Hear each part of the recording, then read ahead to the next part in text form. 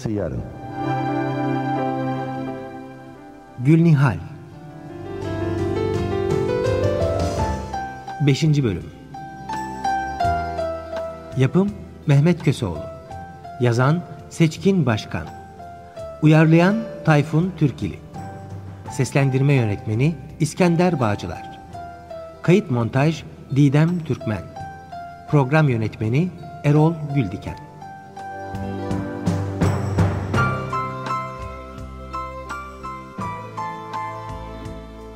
Karısını deli gibi seven iş adamı Kamil Bey, doğum sırasında eşi ölünce yeni doğmuş kızını karısının ölümüne sebep oldu diyerek yanında çalışan Bahçevan Cemal Efendi ile karısı Aliye Hanım'a verir.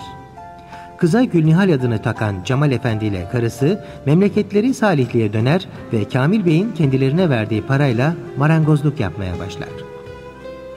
Gülnihal okula başladığı zaman ona hakiki anne ve babasının öldüğünü söylerler. Gülnihal bu yalanla büyür ve 18 yaşına gelir. Üniversite sınavlarına hazırlanan Gülnihal'in en büyük arzusu tıp fakültesini kazanarak doktor olmaktır. Öte yandan Gülnihal'in öldüğü bildiği babası Kamil Bey, Füsun adında bir kadınla evlenmiş ve Sedef adında 15 yaşında bir kızı olmuştur. Füsun Hanım'ın erkek kardeşi Doktor Oktay da kendileriyle birlikte oturmaktadır. Çok çalışan Kamil Bey son günlerde halsiz ve bitkin düşünce Oktay eniştesini muayene etmek ister ve kendisine bir dizi tahliller yapar. Kamil Bey bir kalp krizinin eşiğindedir.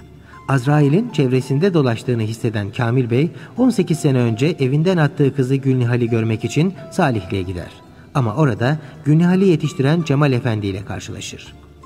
Cemal Efendi Kamil'e kızın yoluna çıkmamasını öğütleyince Kamil Bey İstanbul'a döner. Ama artık eskisi gibi güler yüzlü, esprili şakacı Kamil Bey değildir. Gülnihal üniversite sınavlarını kazanır ve okumak için İstanbul Tıp Fakültesine gider. Ve bir tesadüf eseri hastaneye muayene olmaya gelen öz babası Kamil Bey ile tanışır.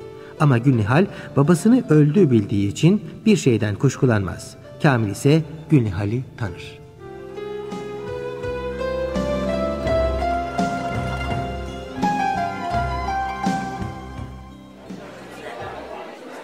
Bu gördüğün kızın adı Gülnihal'dir. Ben fenalaştığımda bana yardım etmişti. Ah çok teşekkür ederim kızım. Allah razı olsun sizden. Benim de sizin yaşlarda e, belki biraz daha küçük bir kızım var. Öyle mi? Çok memnun oldum efendim. Beyefendi o gün çok korkuttu bizi. Epeydir hasta ama tedavi olmamak için direniyordu. Sonunda yatırmaya razı edebildik. Ciddi bir tanıma hocam. Koroner anjiyografi yapılacak. Kalp damarlarında tıkanıklık var mı diye bakacağız. İnşallah sonuç güzel çıkar. Tekrar geçmiş olsun amca. Asansör geldi. Binelim. Buyur. Sen kaçıncı kata çıkıyorsun Dünya? Servise çıkıyorum hocam. Bir arkadaşıma bakacağım. İyi o zaman. Aynı yere çıkıyoruz. Dersler nasıl gidiyor? Şimdilik işin başındayız hocam. Ama iyi sayılır. Seviyorum. Bu mesleği sevmeden yapmak mümkün değil zaten. Çok fedakarlık isteyen bir iştir. Doktor olmak benim idealimdi hocam. En çok istediğim şeydi. Tek sıkıntım ailemden uzak olmam. Onları çok özledim. Aileniz başka yerde mi? Evet efendim. Salihli'de oturuyorlar.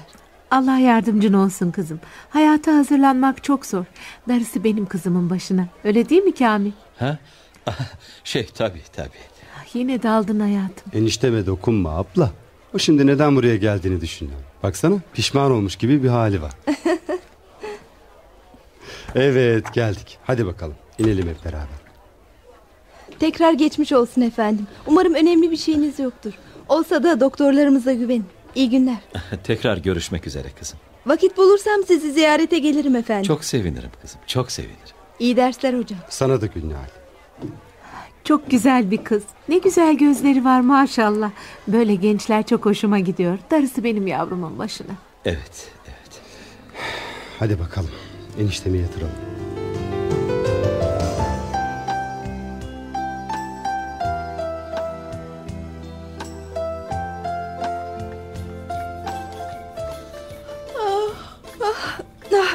Tutulmuş valla. Sabahtan beri o sandalyenin üzerindesin kızım. Elbette tutulur. Birazcık dinlen. Ah, şunu bitirmem gerekiyor. Kimyadan zorlanıyorum. Anlamadığım yerler var daha. İkinci dönem dersler daha ağırmış. E söyledim sana tıp fakültesi başka fakültelere benzemez. Ha, aklıma gelmişken sorayım. Seninkiler ne yapıyor? Arayıp soruyor musun?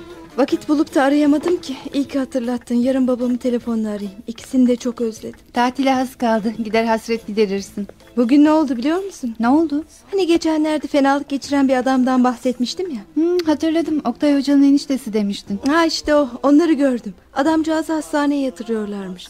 Teşekkür ede ede bir hal oldu. Karısı da yanındaydı. Görsen öyle hoş ve güzel bir kadın ki. Oktay Bey'in ablası. Oktay Hoca ile birbirlerine çok benziyorlar. Aa, bakıyorum da ahbap oldun onlarla. Ha? İyi insanlar ama. Çok da kibarlar. E, adamın nesi varmış? Kalp herhalde. Anjiyografi olacakmış. Pek ne demek olduğunu anlayamadım ama bozuntuya da vermedim. Deli kız. Oktay Hoca ne kadar genç değil mi Fitnat? O yaşta nasıl hoca olmuş? Hayrola Günel? Birdenbire Oktay Hoca'ya bu ilginin sebebi nedir? Yok bir şey canım sadece merak ettim. Öyle mi? Yani sadece merak ettin? Aman ne fesat şeysin sen. Koskoca hoca. Hemen de aklına olmayacak şeyler getiriyor. Hadi hadi saklama. Oktay Hoca bayağı yakışıklı bir adam. Bana ne kızım? Tövbe tövbe. Ben ne diyorum sen ne diyorsun? Benimkisi sadece merak. Ablasının yaşı bayağı var. Kırkın üzerinde. Oktay Bey otuzunda bile değil. E bundan sana ne? Bana bak alay etme benimle. Kalemi kafana yersin. Söyledim ya çok meraklıyımdır. Öğrenmezsem çatlarım. Senin yerinde olsam Oktay Hoca'nın eniştesini ziyaret ederdim. Ne de olsa o senin ilk hastan sayılır. Bir demet kır çiçeği alıp geçmiş olsuna git adamcağıza. Gideceğim tabii. Neden bilmem ama o yaşlı adamda beni çeken, ilgimi uyandıran bir şey var Fitnat. Çok garip ama o adamı ilk gördüğümde yüreğimde bir şey sızladı. Sevdim onu, hoşlandım ondan.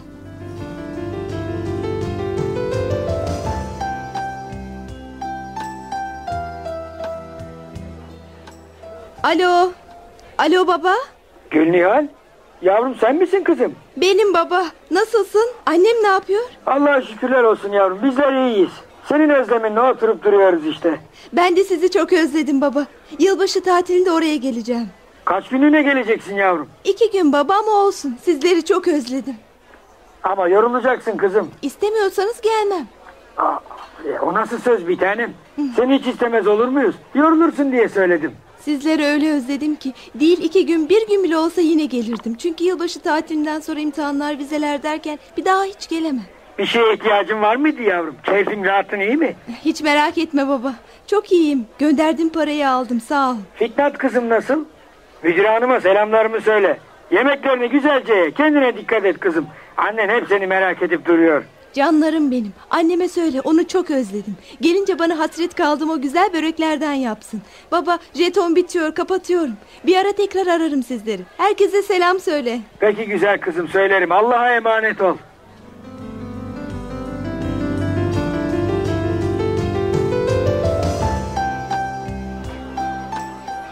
Merhaba. Ah siz misiniz hocam? Korkuttum galiba seni Günya. Biraz dağılmıştım da. Nereye dalmıştın bak. E ben annemi babamı düşünüyordum. Onlardan ayrı kalmak üzüyor beni. Kolay değil tabii. Nereye? Derse mi gidiyorsun? Evet hocam. Enişteniz nasıl? İyi iyi. Yarından sonra anjiyosu yapılacak. Biraz korkuyorum o yüzden. Kolay değil tabii. Biliyor musun belki sana garip gelecek ama eniştem seni çok seviyor. Herhalde hastalık anında senden gördüğü yakınlık ve samimiyet onu çok duygulandırdı. Ben bir şey yapmadım ki. Olsun. Hasta psikolojisi böyledir. Kendini kötü hissettiği anda ilgiye ihtiyaç duyar. Madem öyle eniştenizi ziyaret edeyim. Et ya çok sevinir. Daha dün sordu seni bana. O küçük doktor hanımı görüyor musun diye. Oda numarası kaç hoca? 234.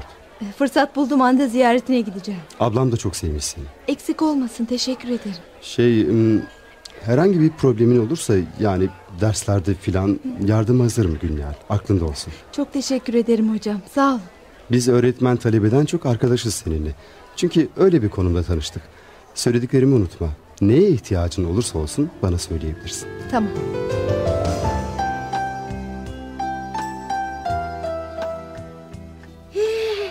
Demek kızım yavrum aradı ha Cemal Efendi. Aradı ya Aliye.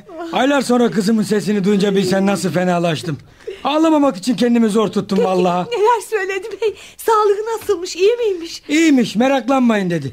Seni beni çok özlemiş. Ah benim kuzum göz nurum yavrum. Özlemez olur mu hiç? Biz nasıl özledik onu? Öyle. Biliyor musun kız aramadan önce bugün hep aklımda Kamil Bey vardı Aliye. O günden sonra bir daha hiç sesi soluğu çıkmadı. Çıkmasın o vicdansızdan ses. Çıkıp da ne yapacak? Ortalığı karıştıracak. Onun gibi adamlar ne bilir evlat sevgisini. Bir cahillik etti işte. Acısından mıdır artık nedendir bilinmez. İnsan evladına onun yaptığını yapar mı bey? Bu kızın asıl büyüttük biz biliriz. Üstüne titredik. Bütün sevgimizi ve şefkatimizi verdik ona. Bugünlere getirdik. Kendi kanımızdan canımızdan ayrı tutmadık. Şimdi Kamil Bey istedi diye bunca emekten sonra Gülnihal'i öldürseler vermem o adama. Öyle de insanlar farklı farklıdır Aliye. Kamil Bey de hatasını anlamış olacak ki. Sonradan nedamet fayda etmez Cemal Efendi. Biz versek bile bakalım Gülnihal gider mi babasına bağışlar mı onu? Bağışlar Aliye bağışlar. Gülnihal iyi huyludur. Ona iyi insan olmayı, bağışlayıcı olmayı sen öğrettin. Şimdi sinirle böyle söylüyorsun. Ne yani gerçeği anlatmak niyetinde misin Hayır yoksa? hayır hiç bilmese benim için daha iyi ama nasıl olsa günün birinde öğrenecek Ali. Allah gecinden versin Kamil Bey'e bir şey olursa Gülnihal onun mirasçısı. E o zaman öğrenecek. Doğru. Aslına bakarsan Gülnihal'in doğruyu bilmek hakkı Ali'ye. Bilsin öğrensin ve en hayırlı kararı versin. E büyüdü artık. Yapma bey. Kızıma doğruyu söyleme. Yine bizi anne babası bilsin. Az emeğimiz yok onun üzerinde. Anne gibi kendim doğurmuş gibi baktım yavruma. Emzirdim bile. Allah Allah. Ağlayacak ne var şimdi yahu? Ortada fol yok yumurta yok. Öyle deme Cemal Efendi. Gülnihal babasının yaşadığını öğrenirse çok acı çeker. Hayatı karma karışık olur. Bu yüzden belki bizi bile suçlar. Canım niye suçlasın bizi? Onu mu istemeyen katil diye suçlayıp sokağa atan biz değiliz ki babası. Orası öyle ama ne bileyim bir korku var içimde. Hele kızın babasıyla aynı şehirde olduğunu düşündükçe karşılaşırlar diye aklımı kaçırıyorum bazen. Saçmalama hanım koca şehir. Salihli mi sandın İstanbul'u? Milyonlarca insan yaşıyor. Nerede görecekler birbirlerini yahu?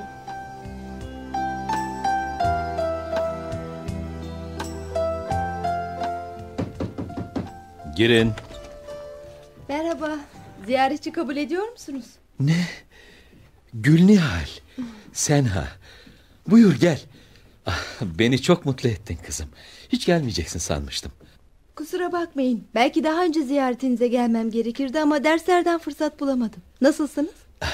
İyiyim kızım çok iyiyim. Eh, İşte öylesine yatıp duruyorum işte. Bir şey yaptıkları da yok. Olur mu hiç? Mutlaka gereken her şey yapılıyordur. Biraz sabırlı olun. Sabah Oktay Bey'i gördüm kapıda. Oda numaranızı ondan öğrendim. Maşallah iyi görünüyorsunuz. Eh, Şimdilik iyiyim. Elleriniz neden titriyor? Heyecanlı mısınız yoksa? Ha, evet. Biraz heyecanlıyım. Nedense doktorumu görünce Aa, söylemeyin böyle ben daha doktor değilim ki. olsun. Benim için benim için doktorum sensin kızım. Adınız nedir? Kamil. Kamil Tezel. Ne? Aman Allah. Adınız Kamil Tezer mi dediniz? Ne oldu kızım? Birden rengin sarardı. Adınız soyadınız bana hiç yabancı gelmedi de tanıdık birini hatırlattı. Benim adım soyadım çok rastlanan bir isimdir. Esas adım Muharrem. Muharrem Kamil. Otursana kızım. Yo oturmayayım birazdan dersim başlayacak. Bir şeye ihtiyacınız var mı? Sağ ol kızım. Böyle genç, güzel ve samimi yüzler görünce bütün isteklerim kabul olmuş oluyor. Teşekkür ederim. Eşiniz yok mu? Birazdan gelir. Bugün kızım da gelecek ziyarete. Desenize bugün sizin için bayram. Evet öyle. Gözlerinin rengi ne güzelmiş Gülnihal. Annemin gözleri de böyleymiş efendim. Neden böyleymiş dedin? Çünkü yaşamıyor artık. Ya öyle mi? Üzüldüm. E, ben küçükken annem de babam da ölmüş. Biliyor musunuz ölen babamın adı da Kamil Tezer'miş. Az önce siz adınızı soyadınızı söyleyince bu yüzden çok şaşırdım. Eh, eh, şey, e, isim soyadı benzerliği işte. evet öyle olmalı. E, neyse benim gitmem gerek. Tekrar geçmiş olsun size.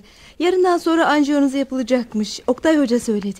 Tekrar uğramaya çalışırım. Hoşça kalın. Eşinize saygılar. Kızınıza da sevgiler. Güle güle yavrum, güle güle. Ya Rabbim, ne olur affet beni. Burnumun dibinde duran öz kızıma sarılamıyorum. Onu öpemiyorum. Kızım diyemiyorum ona. Yazık. Anne ve babasının öldüğünü söylerken birden gözleri nasıl doldu. Oysa ben yaşıyorum. Ama bunu nasıl söylerim ona? Kendimi nasıl affettiririm yavruma?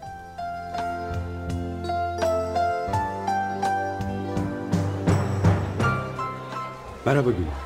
Ah Oktay hocam siz misiniz? Evet. Ne yapıyorsun o devanın üzerinde? Hiç ders çalışıyorum. Sınavlara hazırlanıyorum. Enişteniz nasıl? Bugün öğleden sonra anjiyoya giriyor. O yüzden geldim ben de. Allah yardımcısı olsun. Eminim önemli bir şey çıkmayacaktır. Bu temenniler insana moral veriyor Gülnihal. Kamil Bey çok iyi bir insan. Nedense çok sevdim onu. O da seni çok sevmiş. Bak ne diyeceğim. Eniştem operasyona girmeden önce onu son bir kere olsun görmek ister misin? Moral vermiş olurdun. Bilmem ki. Vaktin varsa bir beş dakika gidelim. Hı? Olur gidelim. Dersime yarım saat var. Umarım rahatsız etmem. Olur mu hiç canım? Ne kadar sevineceğini kendin de göreceksin. Madem öyle gidelim. Hadi.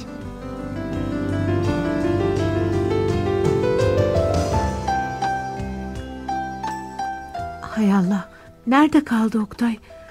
Bugün uğramadı mı hiç Kamil? Telaş etme. Füsun buradadır çocuk. Anjiyo olacağımı biliyor. Birazdan gelir. Merhaba. Ben de şimdi seni soruyordum Oktay. Nerelerdesin Allah aşkına? Az önce profesör geldi. İki saate kadar eniştene anjiyo yapacaklarını söyledi. Sakin ol ablacığım biliyorum. Enişte bak sana kimi getirdim. Kimi? Gülnihal gelsene içeri. Oh, Gülnihal mi? Merhaba. Nasılsınız efendim? Sağ ol kızım, iyiyim.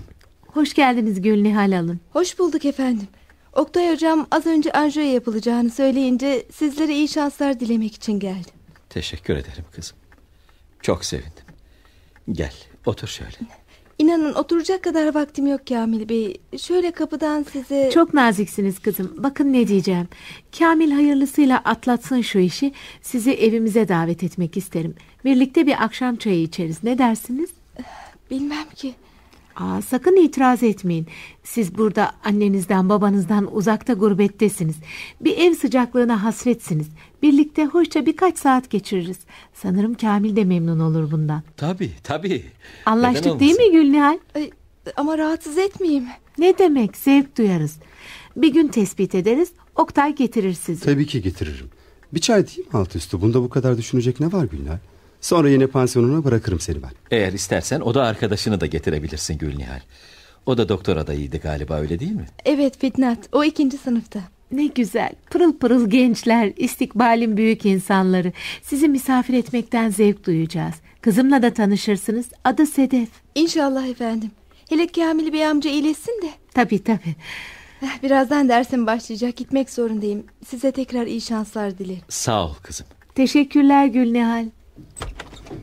Şu Gülnihal harika bir insan değil mi abla? Oktay, Evet abla. neler oluyor bakayım sana?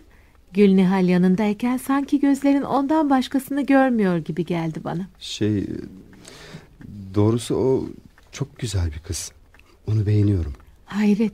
İlk defa senin bir kızı beğendiğini gördüm. Hadi hayırlısı. Ee, bırakın şimdi kızı da. Bana ne zaman anjiyo yapacaklar? Bıktım burada yatmaktan ya. Durup dururken nereden çıkarttınız anjiyoyu manjiyoyu? Sapa sağlam adamım ben canım. Eyvah tuttu yine huysuz. Sakin ol enişte neden sinirlendin? Biraz sonra alacaklarmış seni içeriye. Sen sakinleşmeye bak.